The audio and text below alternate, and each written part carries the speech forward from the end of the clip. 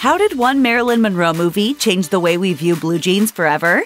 Let's find out as we take a look back at some of the legendary star's most meaningful looks.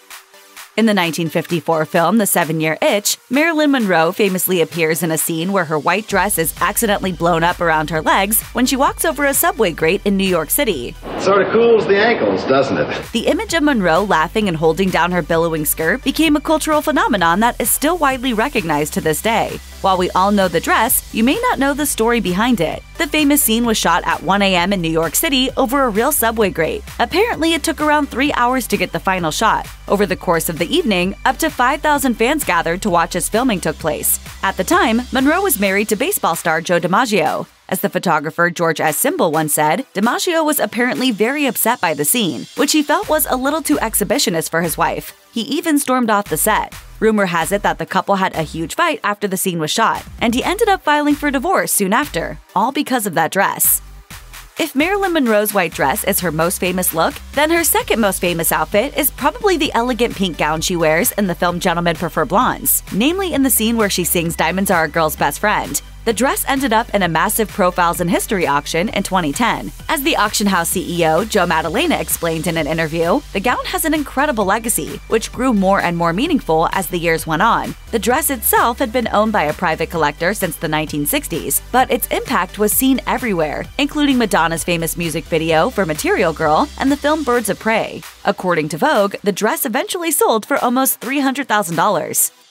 Marilyn Monroe didn't always dress like a glamorous bombshell. In fact, her favorite clothes to wear at home were incredibly laid back. Some people who worked with the legendary star even saw her natural sense of style as a little sloppy. Eventually, this way of dressing began to trouble those who worked with her. Photographer Milton Greene was a close friend of Monroe who decided she needed a wardrobe makeover. According to the book Marilyn in Manhattan, Her Year of Joy, Greene and his wife Amy were displeased with the clothes Monroe brought with her when she visited them in Connecticut in 1954. The actress, according to the Greenes, had no sense of personal style, and she didn't seem to bother updating her attire. They helped her revamp her casual wardrobe, eventually working with designers to craft a sense of glamour even around the everyday clothes she wore. So, next time you see a picture of Monroe in a laid back outfit, remember there's more to the story. It's either a lazy look that her friends hated, or a carefully curated piece of wardrobe that came from the people in her life finally intervening.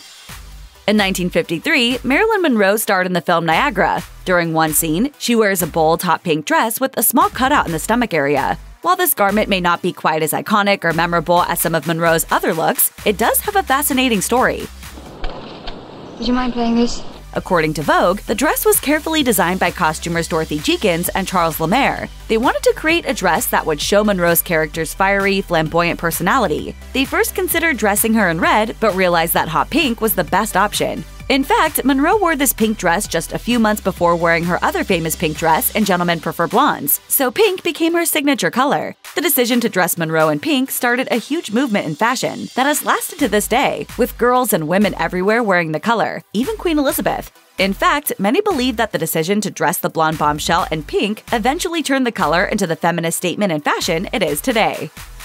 Designer Norman Norell created many of Monroe's outfits, but one of his most interesting and meaningful creations is the gorgeous emerald green mermaid dress covered in sequins that she wore to the 1962 Golden Globe Awards. Rumor has it that Monroe also wore earrings that night given to her by Frank Sinatra. As Vogue explained, Norell never received the recognition or acclaim he deserved in the fashion world, so this dress remains one of his best known creations. Monroe's look was a huge success, and her dress is still considered one of the best red carpet looks in Golden Globes history.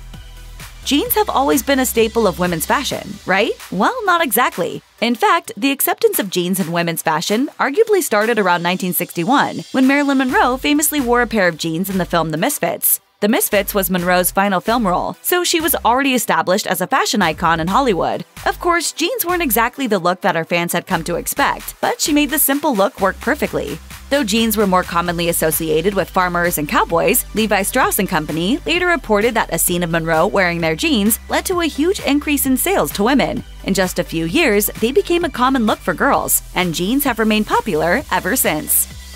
In one of her most revealing outfits, Marilyn Monroe donned a tiny green bodysuit covered in a fish scale pattern and trimmed with gold tassels and a black tulle train. It was a sexy, seductive look perfect for her saloon performance of that old black magic in the 1956 film Bus Stop. Fans of Monroe probably assumed this was just another outfit created for her by the film's costume designers. However, as it turns out, there's a little more to the story. In a 2016 interview on the talk show Lorraine, Martin Nolan, the executive director of Julien's Auctions, explained the significance of the outfit. Apparently, Monroe didn't actually want the costume to feel like a new look, desiring something vintage instead. So she went into the 20th Century Fox costume archives and dug around until she found the outfit she thought best fit the character. Talk about being dedicated to your role. Check out one of our newest videos right here. Plus, even more list videos about your favorite movie stars are coming soon. Subscribe to our YouTube channel and hit the bell so you don't miss a single one.